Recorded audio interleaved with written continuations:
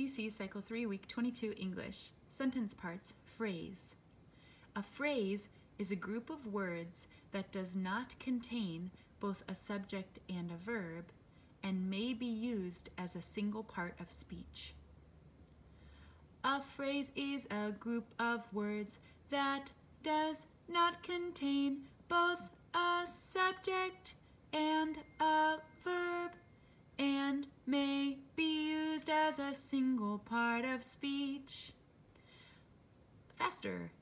A phrase is a group of words that does not contain both a subject and a verb and may be used as a single part of speech. Faster!